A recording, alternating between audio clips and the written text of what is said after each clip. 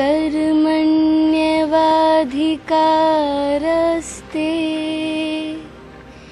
मा फलेषु कदाचन।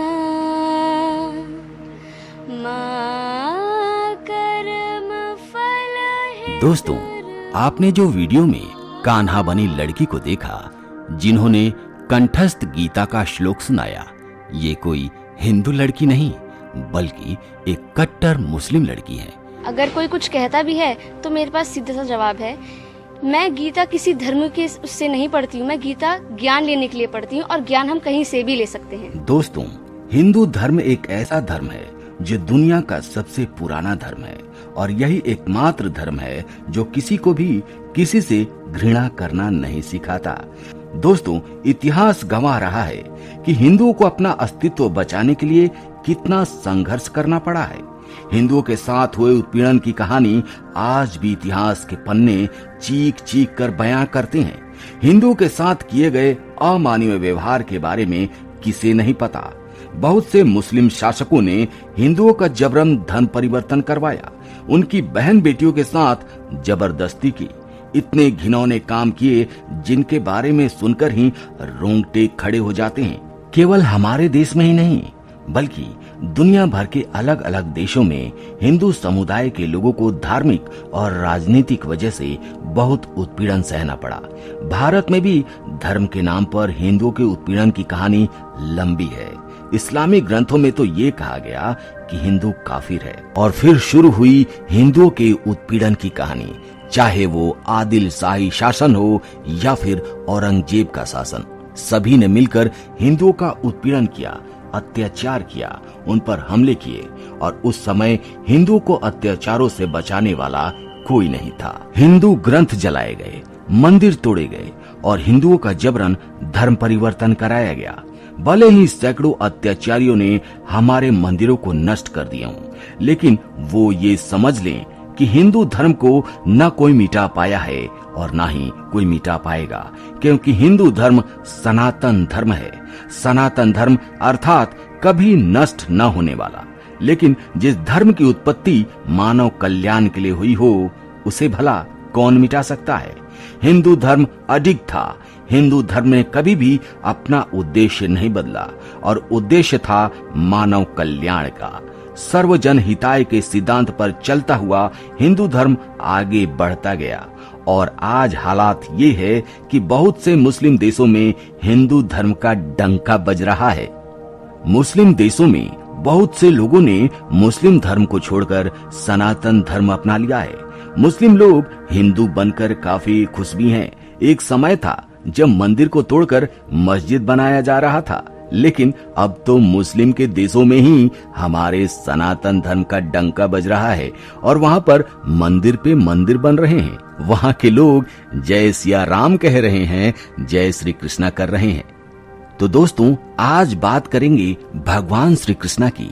कन्हैया की, माखन चोर की, क्योंकि आज जन्माष्टमी है। और इस जन्माष्टमी के मौके पर हमारे देश के मुस्लिम लोग, हमारे देश का मुस्लिम समाज बड़ा बढ़ चढ़कर भाग ले रहा है।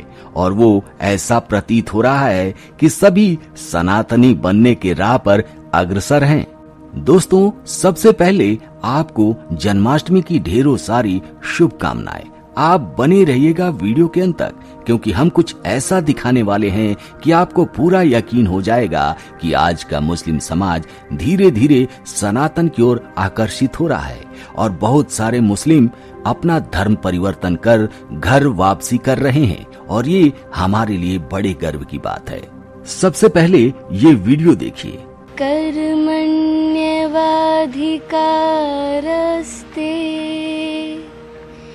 मा कदाचन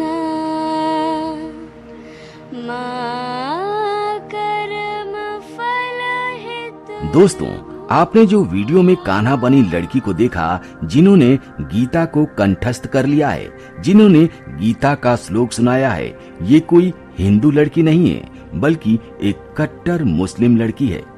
आप जानकर हैरान हो जाएँगे कि गीता प्रतियोगिता में इन्होंने प्रथम स्थान पाया था और उत्तर प्रदेश के मुख्यमंत्री श्री योगी जी ने स्वयं इन्हें पुरस्कृत किया था। दोस्तों, जन्माष्टमी का त्योहार पूरे हर्षोल्लास के साथ देश और विदेशों दोनों जगह पर मनाया जा रहा है।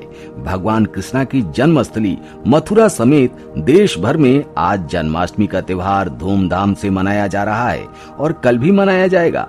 मंदिरों के अलावा लोगों ने अपने घरों में भी लड्डू गोपाल की प्रतिमा को रंग बिरंगी पोशाकों से सजा लिया है। कान्हा के रंग में हर बाल गोपाल रंगा हुआ नज़र आ रहा है। हर स्कूल कॉलेज में जन्माष्टमी का त्योहार हर्षोल्लास के साथ मनाया जा रहा है। सभी धर्म के बच्चे राधा और कृष्णा बनकर स्कूल जाते नज़र आ रहे हैं। इसी बीच सोशल मीडिया पर एक वीडियो वायरल हो रहा है, जिसमें कृष्णा जन्माष्टमी के अवसर पर मुस्लिम महिला अपने बच्चे को भगवान कृष्णा की तरह तैयार कर स्कूल ले जाते हुए दिखाई दे रही है। बुरखा पहनी महिला ने अपने बच्चे को पीले कपड़े में कान्हे का लुक दिया हुआ है।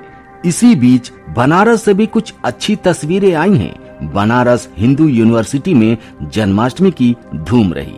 बीएचयू के महिला महाविद्यालय की छात्राओं ने सजीव झांकी सजाई। कृष्णा जन्म से लेकर रास लीला तक के दृश्य को जीवंत रूप में दर्शाया गया। खास आकर्षण का केंद्र रही फ़र्स्ट ईयर की लुम्बा खान, जो झांकी में राधा बनी थी। लुम्बा ने प्यार और सांप्रदायिक सौहार्द का संदेश दिया। प्यार से जीता जा सकता है सबका दिल।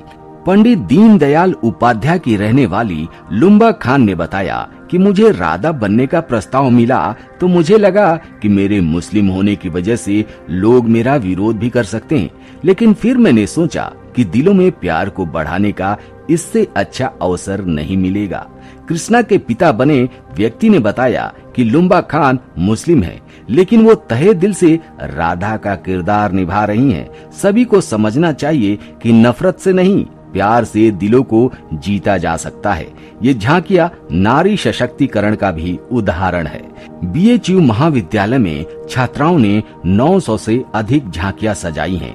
श्री कृष्णा जन्माष्टमी बताता है कि हमेशा अधर्म पर धर्म की विजय होती है और यही कृष्णा की ज़िंदगी भी बताती है और इसी तरीके से उनके जीवन का वर्णन किया गया है दोस्तों, हमारे देश में कुछ ऐसी जगह हैं जहाँ हिंदू, मुस्लिम मिलकर मनाते हैं जन्माष्टमी। धर्म को नहीं, खुशी को देते हैं अहमियत। पूरे देश में जन्माष्टमी की धूम मची हुई है। हर कोई कान्हा के जन्मदिन की तैयारी पहले से ही कर रहा था। दोस्तों, हमारे देश में एक ऐसी जगह है जहाँ कुछ लोग धर्म और कट्टरवाद से ऊँचा उठकर आपसी खुशी को सबसे ज़्यादा अहमियत दे रहे हैं। हिंदू मुस्लिम की एकता का मिसाल बने हुए ऐसी ही मिसाल यहाँ भगवान कृष्ण के जन्मदिन, यानी जन्माष्टमी के मौके पर तीन दिनों का उत्सव आयोजित किया जाता है। इस दौरान यहाँ कव्वाली, नृत्य और नाटकों का आयोजन भी किया जाता है।